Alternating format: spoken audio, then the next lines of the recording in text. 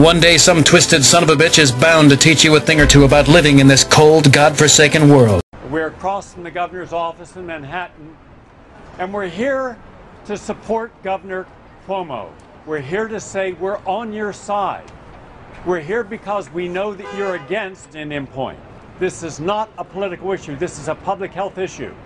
Because if there is an accident, if there is any form of a terrorist attack, if there is an earthquake, and it should in any way cause a meltdown or a solar storm that is expected between 12 and 24 months, then it's immaterial whether you're rich or poor, Democrat or Republican.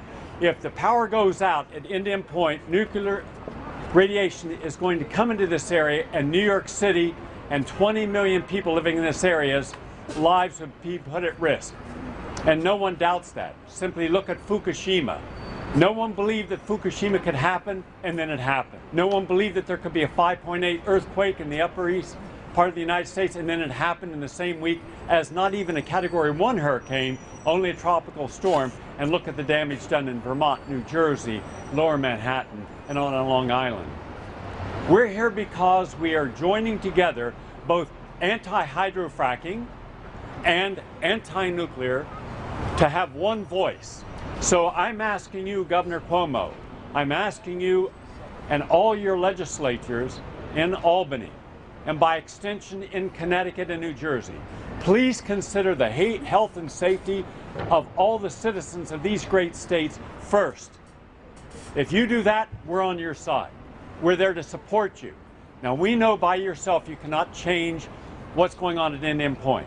But we also know that by being against Indian Point and listening to the science of why Indian Point is non sustainable, then you can force the Nuclear Regulatory Agency, which we all know is utterly corrupt. It's in the pocket of the nuclear industry.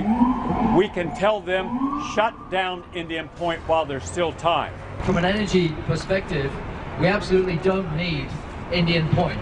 Uh, the energy from there is expensive and dangerous. It's totally unnecessary. If we can look, what we really need to do is look towards real alternatives such as wind and solar power and energy conservation. If Germany can, the fourth largest economy in the world, can do without nuclear power, then so can the United States. And what we don't want is Governor Cuomo to shut down Indian Point and replace it with hydrofracked energy because that is going to mean the poisoning of, of our entire watershed. There's only one direction that nuclear fuel and fossil fuel, the prices of that are going to go up and up and up uh, from now on into the future. Wind, solar, geothermal, tidal, etc. There's only one direction those prices are going to go, and that's down. And we don't end up with tens of thousands of years of radioactive waste that we don't know anything. There's no plan anywhere in the world for what we're going to do with that waste. And so, the time to shut down Indian Point is now, before it gets relicensed and to come up with a coherent energy plan for New York City and New York State that does not involve hydrofracking or its replacement with coal plants or anything else. We've been complacent. We've been lulled into a sense of complacency that nuclear power is safe, that it's the solution to climate change. Fukushima woke us up. It's waking up a whole new generation of college students and young activists waking them up and saying, shut it down, replace it with clean, reliable, safe energy. It is too unsafe. We have 20 million people living and working within a 50 mile radius of Indian Point. That includes most of New York City, Westchester County, includes parts of New Jersey, parts of Connecticut, the lower Hudson Valley. We need to shut it down. We need to send a strong message to Governor Cuomo. In 1979, Robert Ryan, the director of of state offices, state programs, the guy in charge of all the emergency planning for the 104 nuclear reactors in this country, testified in public and said that Indian Point is one of the most inappropriate sites in existence for a nuclear plant.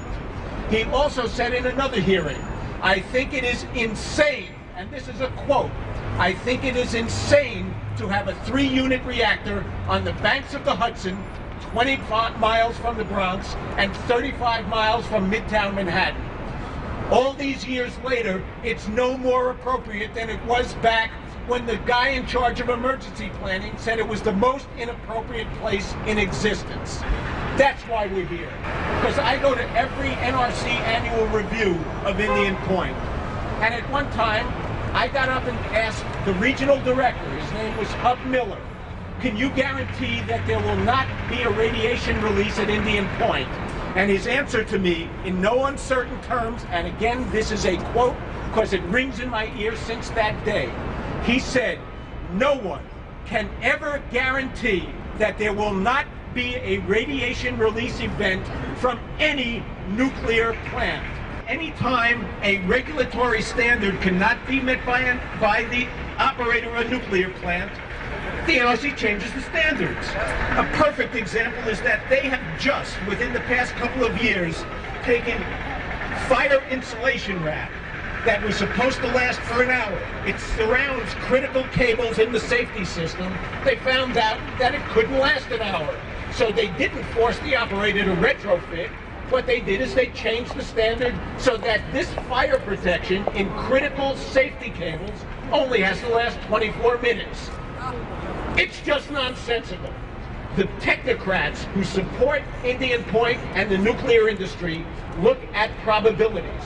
The probabilities are very low that a plant will have a major disaster. But when that disaster happens, and we've seen it many times, and you guys probably don't even know about some of the close calls. The same guy who oversaw the reduction of the fire standard in Indian Point made a bad judgment at the Davis Besse plant outside of Toledo, Ohio. When the plant did shut down, they found that there had been corrosion eating through the dome of the reactor to within a quarter of an inch of breach of containment. The Nuclear Regulatory Commission's Inspector General's office roundly scolded the, the supervisor who allowed it to go. Where did he go? He came to Indian Point. He didn't get fired. He wasn't thrown out of his job.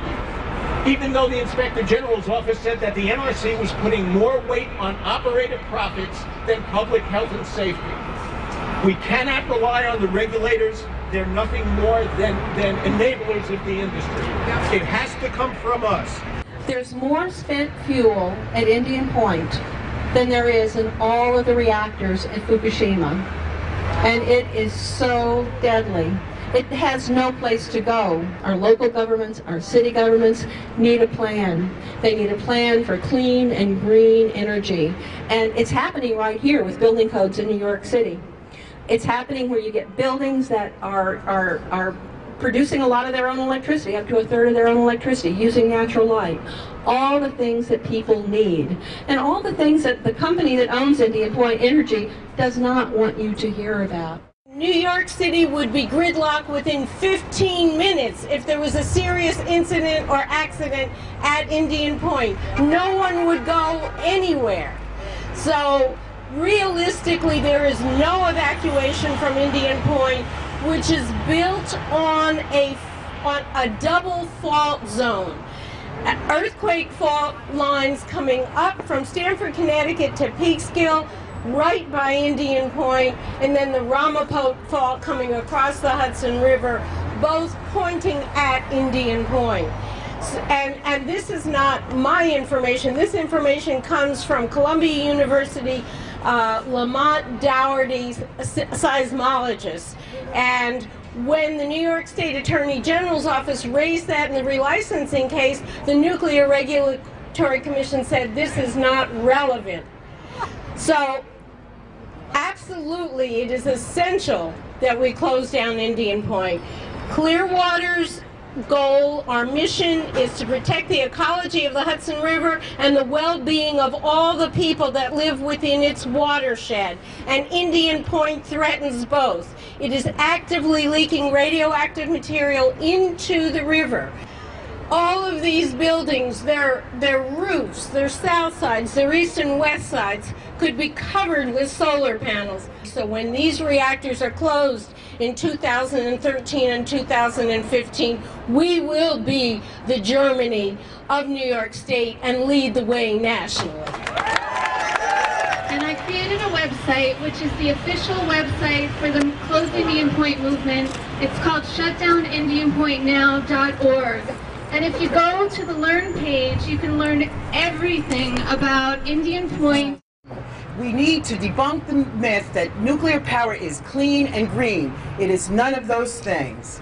Surely we can discover a better way to boil water so that we can turn turbines. Indian Point Indian Point makes us all neighbors. My county legislators, we have the smallest county in New York State, have voted to close Indian Point. We need New York City to uh, do the same thing. Your mayor thinks that we need the electricity, and he's wrong, and you need to educate him as such.